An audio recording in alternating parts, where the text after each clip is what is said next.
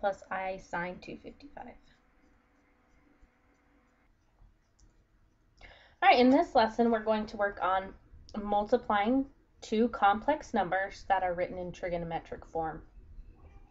So here we're given two numbers. We have 6 times cosine 300 plus I sine 300. And our second number is 4 cosine 240 plus I sine 240. Um, so we have our formulas down here that were given in our textbook. When you're multiplying two complex numbers that are in trigonometric form, you can you multiply the r that was in front. Okay, so in this case we had 6 and 4 were our r's. So on the front we're going to have 6 times 4. And then you have your cosine of the two angles added together. So here we had 300 degrees and here 240. So we're doing the cosine of 300 degrees plus 240 degrees. Plus I, okay, sine, and we add the two angles for our sine also. So again, it was the same, same angles, 300 and 240. All right.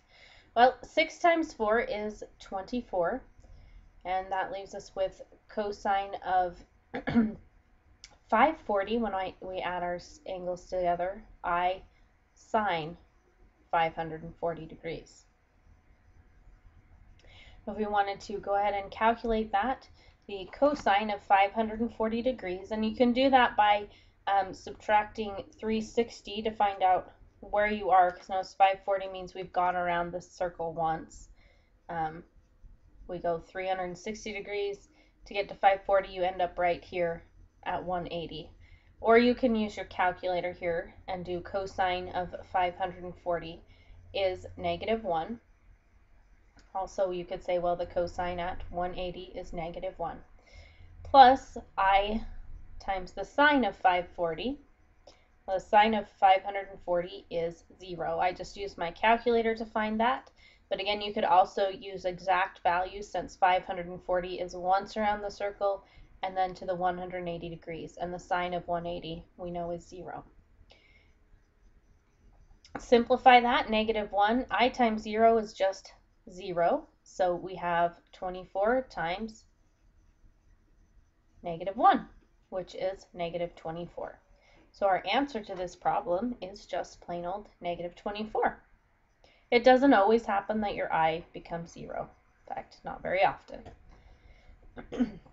Let's do one more. So we are asked to find the product of z sub 1 times z sub 2, which z sub 1 and z sub 2 are these two complex numbers they were given us.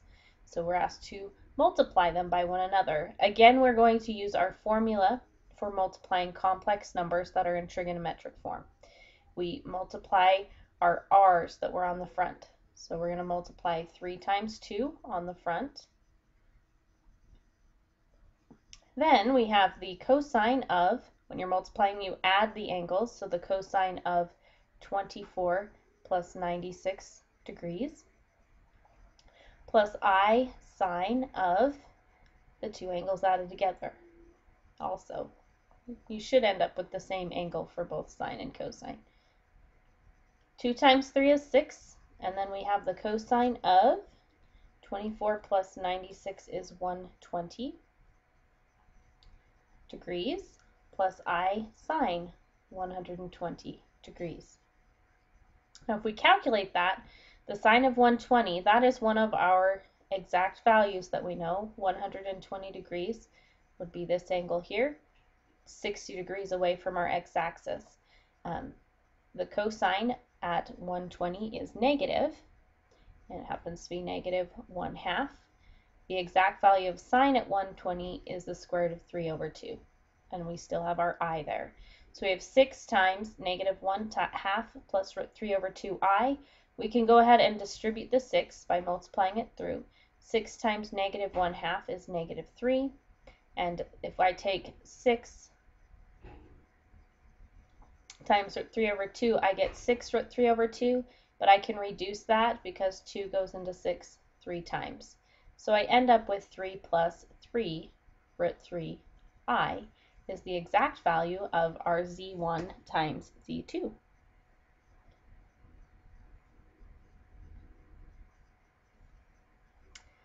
All right, here's another example. Evaluate 3 cis 45 degrees times 12 cis 164. Now remember this cis is just an abbreviation, okay? It means our full, this would be 3 times, C, the C stands for cosine of our angle, which was 45, plus the IS is I sine of our angle, 45. That's just the abbreviation they use for complex numbers that are in trigonometric form. We're multiplying that by 12 cosine 164 plus I sine 164. And they're asking me to round my answer the nearest hundredth, which means this probably won't be an angle that has an exact value that we've memorized. Okay, so our formula says to multiply the numbers in front. So we have 3 times 12 on the front. Cosine of, since we're multiplying, we add our angles. So we have 45 degrees plus 164 degrees. And then plus I sine, do the same thing for our angle of sine. We just add the two angles together, 45 degrees plus 164 degrees. Okay, well 3 times 12 is 36. And then for my angles, 45 plus 164 is 209. So I have 36 times the cosine of 209 plus I sine 209. Now they wanted the exa the answers rounded to the nearest hundredth. So I'm going to go ahead and distribute the 36 and then I'm going to use my calculator to calculate because I know 209 is not one of our exact value angles. Oops, forgot my 36, I sine 209. So here I have 36 times the cosine of 209, which is negative 31, negative 31.49 if I round to the nearest hundredth. That's two places after my decimal.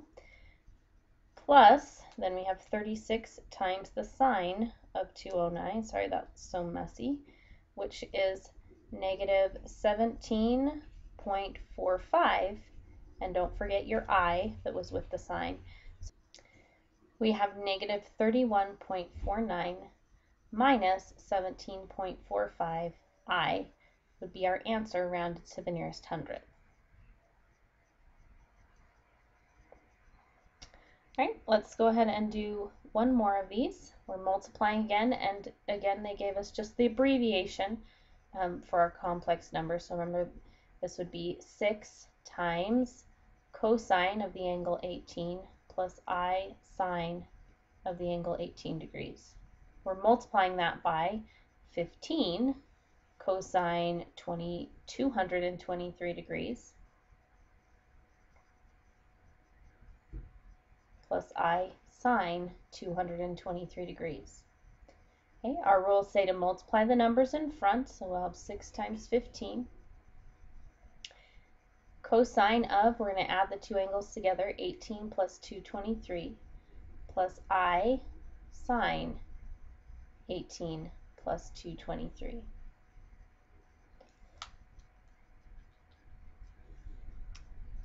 Um, six times 15 gives me 90 in front here.